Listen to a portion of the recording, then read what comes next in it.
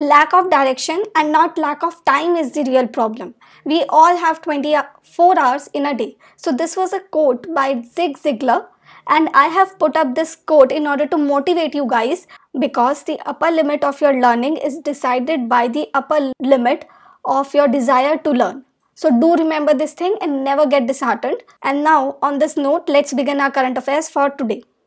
But before moving on to the questions, let me tell you friends that if you are liking our content, so please subscribe to our channel and press the bell icon for more informative videos like this. So the first question for today is where was the IUCN's 7th Regional Conservation Forum organized? IUCN stands for International Union for Conservation of Nature. So IUCN organized its 7th Regional Conservation Forum in the city of Islamabad in Pakistan and there the leaders discussed the problem of melting of snow in Himalayas. So this snow melting is expected to affect around 800 million people living in the region of Himalayas. Now you guys must be thinking about the territorial expand of Himalayas. So let me tell you that Himalayas are spread across India, Tajikistan, Afghanistan, Bhutan, China, Myanmar, Nepal and Pakistan. So these are the regions where the Himalaya expands. Now there was one study also which the leaders or the policymakers present in the forum discussed. What was the study? So it was named as Shrinking Himalayan Glaciers pose challenges to societies and policymakers. So this was the study and this study was published in Science Journal basically journal science advances. So now what is the key finding of this study? So the key finding of this study is that by the year 2100 almost 36% of the glaciers of hindu kush region would get disappear. So such a drastic statement this new study is asserting that 36% of the glaciers would get disappear in the Hindu Kush region. Now, what is this Hindu Kush region? So, this Hindu Kush region is the Afghanistan, Uzbekistan, Tajikistan, Kyrgyzstan, Pakistan, India, Nepal, Bhutan, Bangladesh, China, Mongolia and Myanmar. These two countries have not been shown in this map but uh, the Hindu Kush Himalayan region also expand in these countries. So these are the 12 countries across which the Hindu Kush Himalayan region spans. Now there is an another interesting fact about Hindu Kush Himalayan region which you would be amazed to know that this region is also considered as the third pole of the world because of the amount of snow it has. But unfortunately this snow is also melting and which is posing a great threat on the lives of uh, around 800 million people. Let's move on to the next question. So the next question is which country will host the IUCN's World Conservation Congress 2020? So before moving on to anything else, let me first tell you that World Conservation Congress is a platform where the uh, different countries or the leaders from the different countries come together to discuss the prevention methods or the ways out of the climate change or to counter the climate change. So the next edition or the 26th edition of this Conservation Congress is going to be held in France in the city of Marseille. Do remember the name of the city also because it can also be asked in the examination. So this is the 26th edition of this World Congress 2020. Now you must be wondering about this Regional Conservation Forum also. So in the month of July 2019, IUCN had also organized a regional conservation forum in Rotterdam. Where is this Rotterdam? It is in Netherlands. So this regional conservation forum was for the region of Europe, North and Central Asia. Now I have one more fact to tell you that is this World Conservation Congress is held once in every four years. So the last edition of this Congress was held in the year 2016 and this is the uh, 26th edition. Now I have some uh, static part to be discussed here.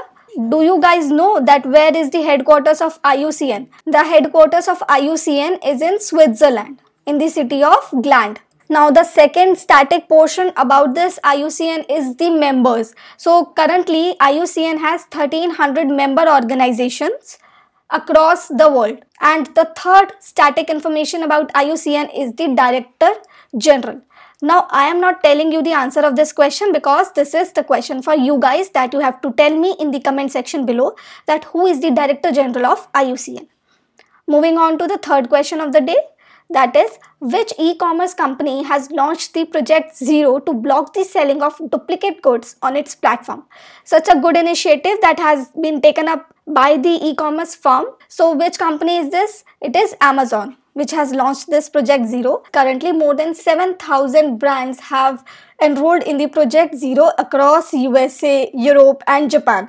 So this is the global project which has been taken up by amazon to curb the du- duplicate selling of products and to ensure that uh, customers get authenticated goods. Now friends, there are times that we don't understand a question or we don't get time to uh, watch the entire video and then we will have some doubts regarding the news. So then you feel the need to connect with your mentor, right?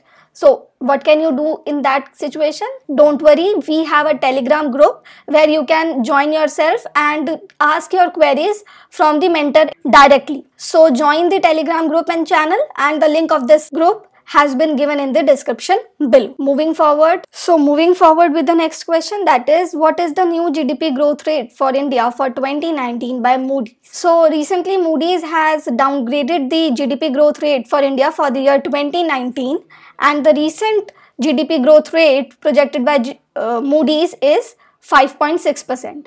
So guys, can you tell me what was the earlier rate? It was 5.8%. So it has been downgraded from 5.8 to 5.6. Do remember this thing friends that you have to remember both the GDP forecast, at least the latest one and the previous one. In some circumstances, the question can be put up uh, like Recently, Moody's has downgraded the GDP growth rate for India from dash to dash. Now, in this case, you have to tell both the answers that what was the latest GDP growth rate and what was the one preceding this latest one. So, do remember both the uh, GDP growth rate to be on a safer side, I would say. So for the year 2019, the GDP forecast was 5.6%. For the year 2020, the GDP forecast is 6.6% and for the year 2021, it is 6.7% by Moody's. Now apart from this, there was one news which was in hype that is Moody's has downgraded or changed the economic outlook for India from stable to negative. Now this has a greater implication on India's economy. So basically if a country's economic outlook has been downgraded by any credit rating agency and that too of such a great stature then it has some grave consequences for the economy. So what are the implication of this? So first implication is that after the downgrade, many lenders like IMF and World Bank would lend us on strict terms.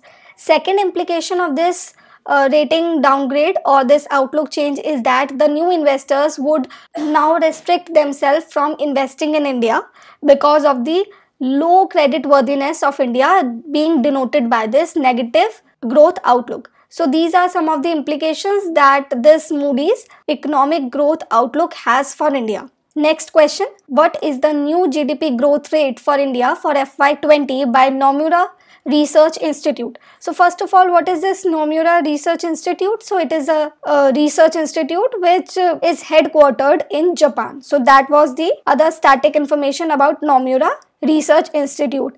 Now you have to tell me that who is the CEO of this group. Now coming back, back to our question, so what is the GDP growth rate for India?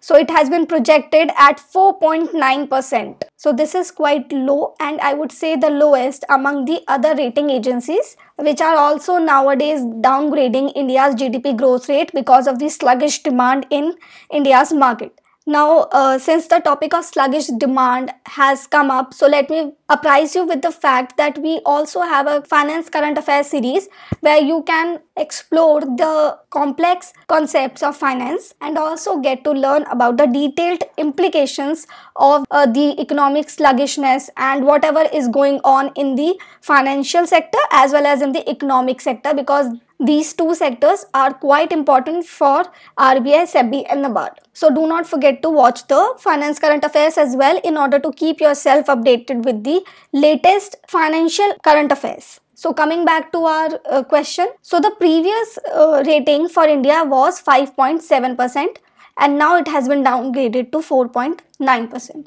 for the year 2019 to 2020. So that was all for today and thank you so much friends for watching our video. If you find our video useful then subscribe to our channel and press the bell icon to keep yourself updated with the latest videos we are coming up with.